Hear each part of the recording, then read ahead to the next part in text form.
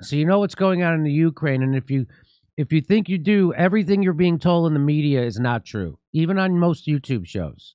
So there's three big reasons why Putin went into Ukraine. They'll never talk about them, and uh, go watch our other videos so you're clued in. And so uh, SNL, it went right along with the propaganda. So they're going right along with the propaganda. And here's Eddie Pepitone, friend of the show, Eddie Pepitone. He tweeted this out on February 25th. So what was that, Friday? Yes. He says maybe SNL will have Kate McKinnon sing a song to the people of Ukraine tomorrow. That should fix it. wow. Uh, okay. We need to start bracing now for the moment tonight when SNL expresses its solidarity with the people of Ukraine. Okay, hang on.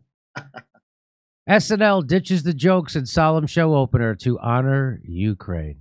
Do you want to see some of it? Yes. yeah. By the way, they didn't ditch the jokes to honor Ukraine. They've been ditching the jokes for at least the last five years. yeah. Uh, I would say even longer, but here they are. They're gonna they're gonna sing a song, and I think the song is called "Prayer to Keep Ukraine White." I think that's what this is. I'm joking. It's called "Prayer for Hunter Biden's Laptop." Here we go.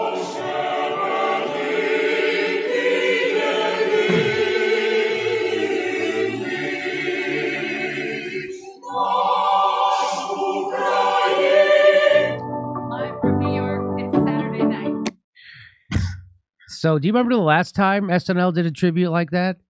Me neither, because I don't watch that show. Uh, I know everybody has their own idea of when SNL was good. no. and for me, it's the Seth Meyers years. Ah, I couldn't straight face it. Sorry, I, you gotta say it with a straight face. I could not straight face it. I know. Uh, oh my god, that I- caught me off guard. I know it's I know it's I know it seems odd for SNL to be this concerned about this specific conflict, but right after this, John Mulaney did a tribute set to the kids we killed in Yemen. So isn't that nice That's to know? nice. Isn't that nice? I wonder I wonder whose idea this was, Lorne Michaels or Pete Davidson's. I bet. and nobody better kneel to during that tribute. That's all I've got to say. No Colin Kaepernick's. uh And when the SNL heard that the Russians had gone into the hospitals and took take the baby, they took the babies out of their incubators and threw them on the floor. That was all they needed to hear. Why does that keep happening? Why does that keep happening? So, um there it is. The the show also featured a candlelit tribute to the Ukrainian capital. You ever go there? Yeah, So first of all, they say it's called Kiev now. I'm still going to say Kiev. And I've only been there once and yes, I did get the chicken. when do wait, wait? It did change officially to that, like how Turkey is now Turkey. Is, It- is that's their official name? I think they're I think it's I I think it's pronounced Kiev now. That's how I hear them all the news presenters say Kiev. Oh But- wow, it's weird. You know, it yeah. Go, go ahead.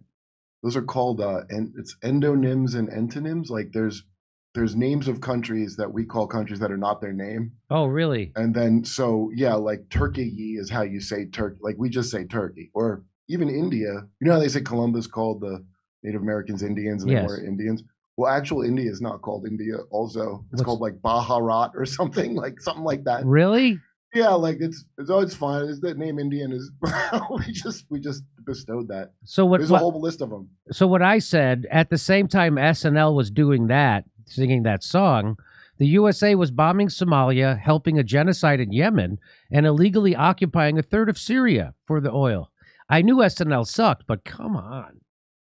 Where's their song for the genocide we're committing in Yemen? Where's their song for the genocide we committed in Libya or Iraq or the slave state we set up in or how about the people we just bombed in Somalia last week? How about for the people in Afghanistan that were now starving?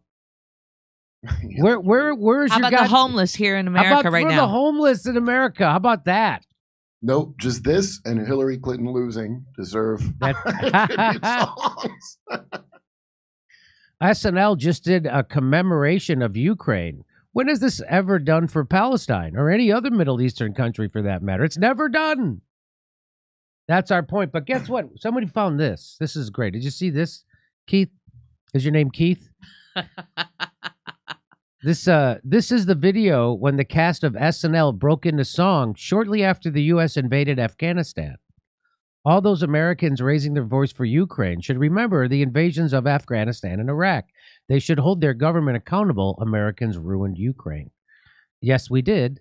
Um, but this is quite, this is amazing. Watch this. Kandahar! Kandahar! Kandahar!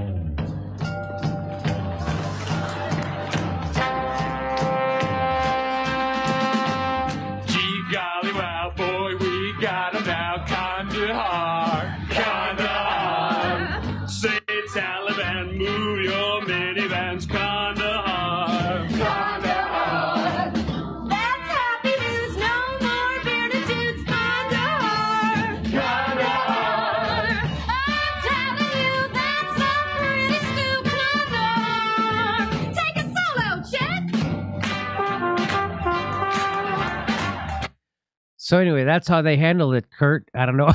what do you think about that? I remember that. I actually remember when that came on like years ago. Really?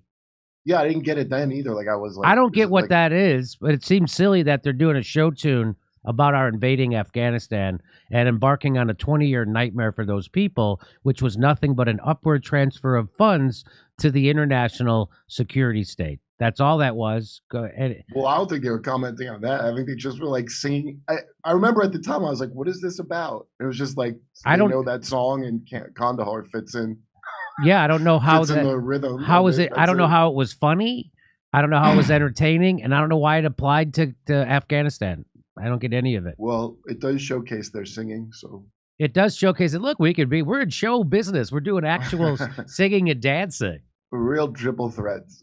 Yeah, that's Seth Meyers. He certainly ha- can belt it out, can he? Holy shit, that was horrible. Best years of SNL. The was- Seth that- Meyer years. That was horrible. He wasn't. He couldn't sing or be funny at the same time. you, gotta do, you gotta do one or the other. But uh, what's her name? Megan Mullally. Is that her name? But no. no, that's What's- Anna, Anna Gasteyer. Gasteyer. Anna Gast, she could really belt it out. You could see she's a real Broadway performer, and she Yeah, was right. letting you know she's auditioning for Broadway right there a little bit, and she got a job. She's gotten Broadway roles ever since then, so good for her. There her. you go.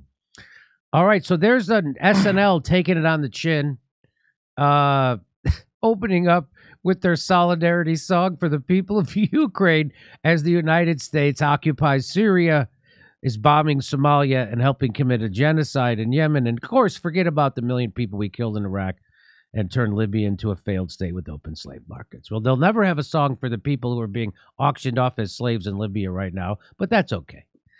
Uh, okay. God. What? Who's that? The NFL? Ha! We're doing live stand up comedy in Los Angeles, and Houston, and Addison, and back in Tampa, Des Moines, Omaha. Go to jimmydorecomedy.com for a link for all the tickets for all our live shows. See you there.